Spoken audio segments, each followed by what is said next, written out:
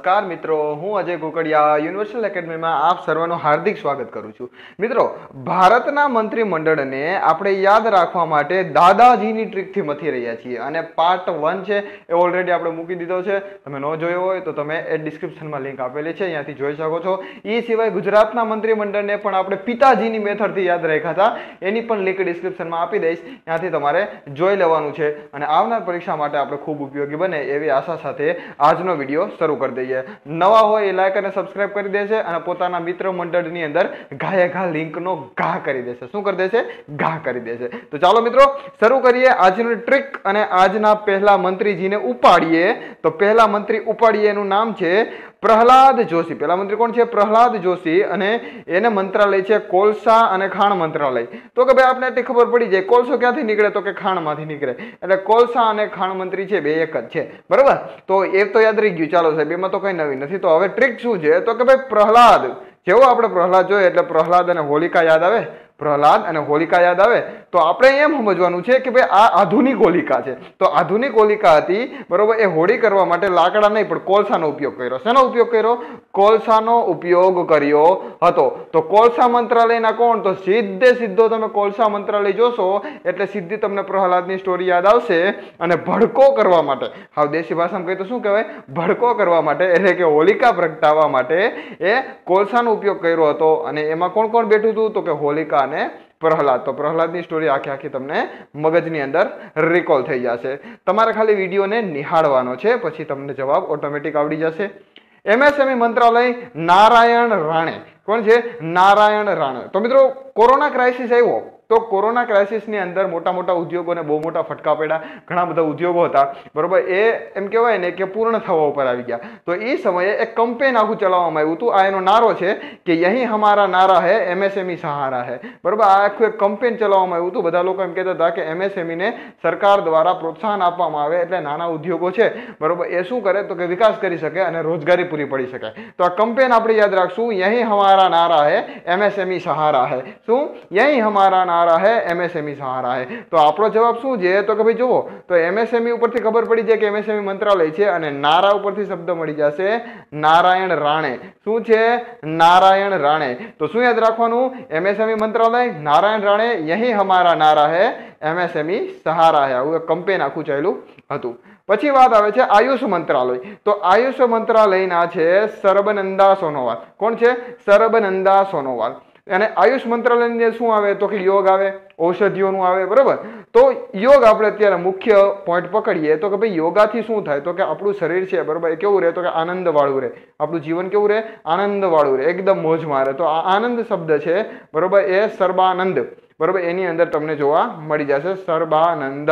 અને એવું કહી શકાય કે જો તમે યોગા કરતા હો તો તમારી જીવી કેના જેવી રહે? તો સોના જેવી તમારી જિંદગી રહે. કેવી રહે? સોના જેવી જિંદગી. એટલે સરબનંદા સોનોવાલ આમ પણ યાદ રહી જાય. બરોબર? અને આનંદ શબ્દ પણ આમાં જોવા મળી જાય છે. સર્વાનંદ અને સોના જેવી પણ જિંદગી રહે. તો આ બે બે શબ્દ છે એ તમને મળી જાય છે. તમને જે યાદ આવે એ તમારે ધારી લેવાનું છે. નેક્સ્ટ જોઈએ એના પછીના આયુષ મંત્રાલય પછી છે અલ્પસંખ્યક મંત્રાલય. તો મિત્રો એના છે મુખ્તાર અબ્બાસ નકવી. તો આ તો બહુ, એટલે બહુ સિમ્પલ ટ્રીક છે. તો કે ભાઈ અલ્પસંખ્યક એટલે આપણે જેને માઇનોરિટી કહીએ છીએ. તો મિત્રો હું તમને એમ પૂછીશ કે ભારતની અંદર સૌથી મોટે અલ્પસંખ્યક કોણ છે? સૌથી મોટી માઇનોરિટી કોણ છે? તો મિત્રો તમે કહેશો મુસ્લિમ ભાઈઓ છે અથવા મુસ્લિમ જે આખું જે શું કહેવાય કે અલ્પસંખ્યક આખો સેક્શન છે. બરોબર? તો મુસ્લિમ છે એ આપણા ભારતની અંદર સૌથી મોટી અલ્પસંખ્યક છે.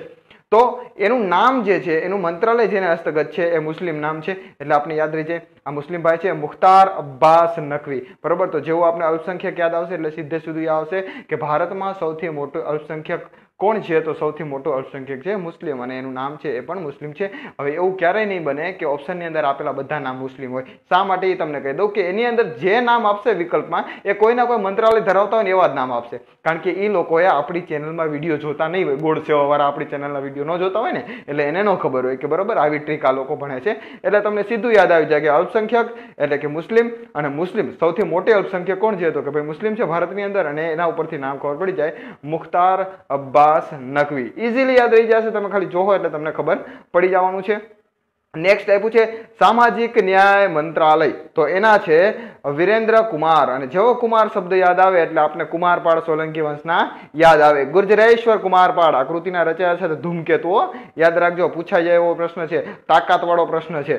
તો ગુજરેશ્વર કુમારપાળના લેખક કોણ છે? તો ધૂમકેતુ છે, આને યાદ રાખશું. હવે કુમાર કુમાર આવે એટલે કુમારપાળ આવે. તો કે ભાઈ, સમાજની અંદર, ગુજરાતની અંદર ન્યાય આપવા માટેનું જો કામ કોઈએ કર્યું હોય ને, તો કુમારપાળે સારી રીતે કર્યું છે. બરોબર? કે પશુ હિંસાને, તો કે એને બંધ કરાવી દીધી. દારૂ જુગાર હતા, એને બંધ કરાવી દીધા. મતલબ પરસ્ત્રી ગમન હતું, એને પણ બંધ કરાવી દીધું. અને એ ઉપરાંત પાછો એ સિવાય એવો ન્યાય કર્યો કે માંસ મદિરા નહીં વેચવાના. અને જે લોકો માંસ મદિરા વેચે છે, એ લોકોને, જે લોકો મતલબ રોજગારી વગરના થઈ ગયા, બેરોજગાર થઈ ગયા, એને ત્રણ વર્ષનું અનાજ મફત આપ્યું હતું. કેટલા વર્ષનું? ત્રણ વર્ષનું અનાજ. એટલે સમાજનો દરેક વર્ગ વિકસિત થાય એવું જોયું કોને? તો કે કુમાર પાડે. તો એના ઉપરથી આપણે યાદ રહી જાય, સામાજિક ન્યાય કરવાનું કામ કોને કર્યું હતું? તો કે કુમાર પાડે. તો કુમાર શબ્દ ગોતવાનો એટલે જવાબ આવી જશે, વિરેન્દ્ર કુમાર. સામાજિક ન્યાય કોને કર્યો હતો? તો કે વિરેન્દ્ર કુમાર એટલે કે કુમાર પાડે. પછી ગ્રામ પંચાયત અને ગ્રામ્ય વિકાસ. તો જેવો પંચાયત બોલો, એટલે આપણે એક જ શબ્દ યાદ આવે, પંચાયત એટલે પંચાયતી રાજ. બસ તમારે ખાલી એ જ કામ કરવાનું છે. રાજ શબ્દને ઓપ્શનમાં ગોતી લેવાનો છે. તો ગિરિરાજ. શું કહેવાય? ગિરિરાજ. તો સીધે સીધે ખબર પડી જાય, ગ્રામ પંચાયતમાંથી રાજ શબ્દ મળી જાય. અને જ્યાં ગ્રામ પંચાયત હોય, એનું કામ શું હોય? તો કે ગ્રામનો વિકાસ કરવાનો. તો ગ્રામ પંચાયત અને ગ્રામ વિકાસ બે મંત્રાલય એકની અંતર્ગત જ આવે છે એટલે યાદ રહી જવું જોઈએ. અને એમાં શું કરવાનું હોય તો કે પંચાયતી રાજ આપણે આખું જ બોલીએ છીએ તો રાજ શબ્દ ગોતવાનો છે. અને કાયમ યાદ રાખવાનું કે ગ્રામ પંચાયતમાં સૌથી વધુ ગ્રામ્ય વિકાસ ક્યાં થયેલો છે? તો કે ભાઈ ગીરના જંગલોની આસપાસ.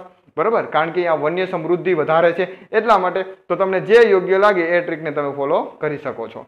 પછી ઉડ્ડયન મંત્રાલય. તો એના છે, જ્યોતિરાદિત્ય સિંધિયા. હવે આ ભાઈ છે ને એ બહુ સાતિર દિમાગ છે. શા માટે? તો કે આ ભાઈ છે પેલા કોંગ્રેસમાં હતા. બરોબર? તો અને પછી આવ્યા બીજેપીમાં. તો શું થયું? કોંગ્રેસની અંદર આભાઈ હતા, ત્યારે એને એમ થયું કે ભાઈ આપણે પાર્ટી છે એ થોડી થોડી ડૂબતી હોય એવું લાગે છે, તો એ ભાઈ શું કર્યું? ઉડ્ડીને સીધે સીધા ભાજપમાં આવતા રહ્યા અને ભાજપમાં આવ્યા એટલે એને સીધું મંત્રાલય આવ્યું. તો મોદી સરકારે જોયું, મોદી સરકાર એટલે મોદીજીએ જ જોયું, અને એમ કીધું કે ભાઈ આ તો કોંગ્રેસમાંથી ઉડીને સીધે સીધા શેમાં આવ્યા છે? ઉડીને સીધે સીધા ભાજપની અંદર આવ્યા છે? તો ઉડીને આવ્યા એટલે એને ઉડ્ડયન મંત્રાલય આપી દીધું. કયું આપ્યું હતું ઉડ્ડયન મંત્રાલય જ્યોતિરાદિત્ય સિંધિયા. યાદ રાખવા જેવા છે, પેલા કોંગ્રેસની અંદર હતા અને પછી સારું જોયું કે ભાઈ ભાજપ પ્રગતિ તરફ છે, તો ભાજપમાં આવી ગયા. બરાબર? તો ઉડ્ડયન મંત્રાલય, જ્યોતિરાદિત્ય સિંધિયા. પછી સ્ટીલ મંત્રાલય રામચંદ્ર પ્રસાદ સિંઘ. તો મિત્રો, યાદ રાખવાનું છે કે હનુમાનજી છે. બરોબર? આપણે દુનિયામાં સૌથી સારામાં સારી સ્ટીલ બોડી હોય ને તો હનુમાનજીની છે, બરાબર? એના જેવી બોડી કોઈની થાય નહીં, બરાબર? તો એકવાર હનુમાનજીને કોઈ પૂછ્યું કે તમારી આવી સ્ટીલ બોડી છે, આ ખાલી શું કહેવાય ટ્રીક છે? યાદ રાખજો, આ તમારી આવી સ્ટીલ બોડી છે, તો એનું કારણ શું? ત્યારે હનુમાનજીએ કીધું કે પ્રભુ શ્રી રામનું નામ. શું છે? પ્રભુ શ્રી રામચંદ્ર ભગવાનનું નામ લઉં એટલે મારી બોડી આવી બની જાય છે. તો તમારે રામચંદ્ર ભગવાનનું નામ લેવાનું? જય શ્રી રામ, જય શ્રી રામ. એટલે તમારી બોડી કેવી થઈ જાય સ્ટીલ વાળી થઈ જાય બરાબર? સ્ટીલ બોડીના તમે થઈ જશો. તો સ્ટીલ મંત્રાલય કોના તો કે જેમાં રામ શબ્દો આવે એટલે રામચંદ્ર પ્રસાદ સિંહ ઇઝીલી છે, યાદ રહી જશે, કંઈ નવું નથી. આપણે આગળ આગળ જોતા જઈએ એટલે તમને સીધે સીધે તમને જવાબ આવડી જવાનો છે. હવે આવે છે રેલવે મંત્રાલય. એટલે રેલવે મંત્રાલય કેમ યાદ રાખવું? તો કે અશ્વિની વૈષ્ણવ. આ ભાઈ છે, ખાસ યાદ રાખજો, મહિલા નથી. તો કે ભાઈ વૈષ્ણવ ઉપરથી જો તમે આમ કરી નાખો તો વૈષ્ણવી. બરોબર? પણ આપણે યાદ રાખવાનું છે વૈષ્ણવ દેવી મંદિર. બરોબર? તો વૈષ્ણવદેવી મંદિર, તો કે ભાઈ વૈષ્ણવદેવી મંદિર તો બહુ આઘું પડે. આપણે ગુજરાતથી જવું હોય તો બહુ આઘું પડે ને. તો કે ભાઈ જો, બસમાં જાય તો મોંઘું પડી જાય. પ્લેનમાં જવાના, આપણી પાસે પૈસા નથી. આપણે ત્યાં ગુજરાતી તો સસ્તું શું પડે? તો કે ભાઈ રેલવેમાં જાય ને તો સૌથી સસ્તું પડે. એ ને ધીમે ધીમે ધીમે ધીમે ભલે નાથ દાદી થાય, આપણે શું વાંધો? તો આપણે વૈષ્ણવ દેવી મંદિર ગયા હતા શેમાં ગયા હતા તો કે રેલવેમાં ગયા હતા બરોબર? આપણે રહ્યા ગુજરાતી. કંજુસાઈના કિંગ. બરોબર ને? કંજુસાઈના કિંગ. કારણ કે જ્યાં દસ રૂપિયા જોતા હોય અહીંયા આપણે અગિયારનો બગાડીએ. આપણે ગુજરાતી છીએ, એટલે આપણે વૈષ્ણવ દેવી ગયા હતા અને શેમાં ગયા હતા તો કે રેલવેમાં ગયા હતા તો એના ઉપરથી ખબર પડી જાય કે રેલવે મંત્રાલય છે એ જેમાં વૈષ્ણવ દેવી શબ્દ આવે. એટલે કે વૈષ્ણવ શબ્દ આવે, એ હશે તો જવાબ આવશે અશ્વિની વૈષ્ણવ રેલવે મંત્રાલય સંભાળે છે. પછી તો કે ખાદ્ય મંત્રાલય, તો એના છે પશુપતિ કુમાર. તો અહીં તમે જોવો છો, પશુ શું કામ કરે? સાદું સિમ્પલ બસ નકરું ખા જ કરે. શું કરે? ખા જ કરે. બરોબર?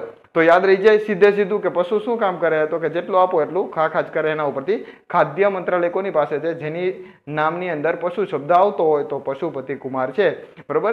તો યાદ રહી જાય એવું છે. જો ઓલો કુમારપાળને અહીં લઈ આવવાની કોશિશ ન કરતા, એ વિરેન્દ્ર કુમાર હતા. બરોબર? અને આ પશુપતિ કુમાર છે. પણ ટ્રીક છે એ એકદમ અલગ છે એટલે તમને વાંધો નહીં આવે. બરોબર?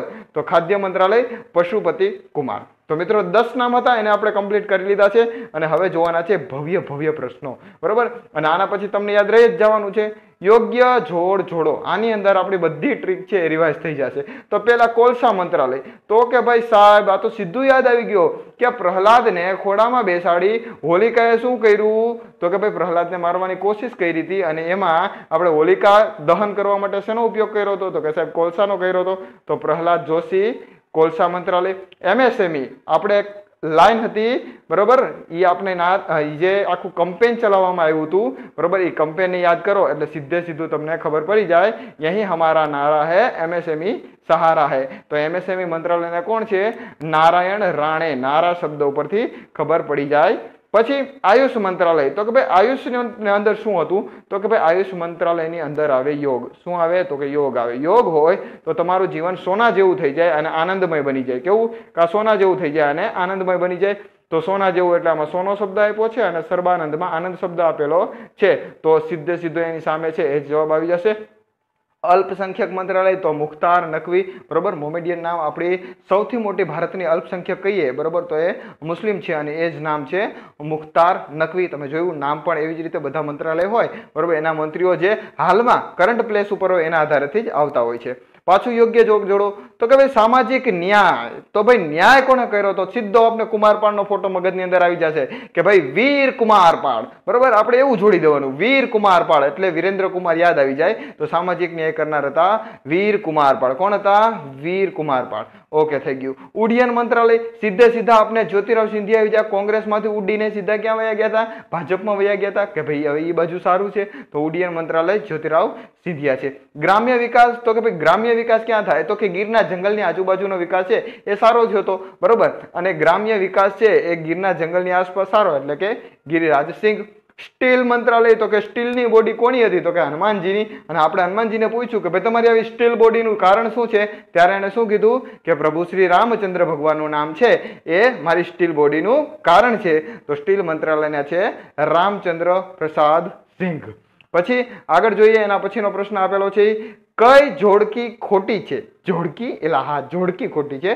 તો રેલવે મંત્રાલય એના છે અશ્વિની વૈષ્ણવ. તો કે, હા, મિત્રો, બિલકુલ સાચું છે. આપણે વૈષ્ણવ દેવી ગયા હતા એટલે શેમાં ગયા હતા તો કે, રેલવેમાં ગયા હતા એટલે હા, આ તો સાચું છે એકદમ. પછી, કોલસા મંત્રાલય, તો એના રામ પ્રસાદ સિંહ એલા, ના રામચંદ્ર પ્રસાદ સિંહ કોલસા મંત્રાલયમાં ન આવે. કોલસા મંત્રાલયમાં કોણ આવે? તો કે, ભાઈ, કોલસાનો તો ભડકો કરી અને આપણે શું કર્યું હતું એટલે કે હોળી સળગાવી હતી અને એમાંથી શું કર્યું હતું તો આપણે પ્રહલાદને ખોડામાં બેહાડ્યા હતા. એટલે એના તો પ્રહલાદ જોશી આવે ભાઈ. શું આવે? કોલસા મંત્રાલયના કોણ આવે? પ્રહલાદ જોશી. એટલે આ જોડી ખોટી છે. એટલે આપણો જવાબ પણ એ જ આવશે. અને આ રામચંદ્ર પ્રસાદ સિંહને કયું મંત્રાલય હતું? તો કે રામ ભગવાનનું નામ લ્યો એટલે બોડી કેવી બની જાય? સ્ટીલની બોડી બની જાય આવું હનુમાનજીએ કીધું હતું, તો આ ખોટી છે એટલે આપણો જવાબ તો બની ગયો. પછી ખાદ્ય મંત્રાલય, તો ખાખા કોણ કરે? તો કે પશુઓ, નકરું ખાખા જ કરે. તો એના ઉપરથી ખબર પડી જાય કે એ સાચું છે. અને પછી એમએસએમઈના નારાયણ રાણે, બરોબર? તો યાદ રહી જાય, બરોબર? અહીં હમારા નારા હે એમએસએમઈ સહારા. આખું કમ્પ્લેન ચાલ્યું હતું, બરોબર? તો રેલવે મંત્રાલય, અશ્વિની વૈષ્ણવ, કોલસો મંત્રાલય કોણ હતા? પ્રહલાદ જોશી, રામચંદ્ર પ્રસાદ સિંહ સ્ટીલ મંત્રાલય, ખાદ્ય મંત્રાલયના પશુપતિ કુમાર એમએસએમઈના નારાયણ રાણે.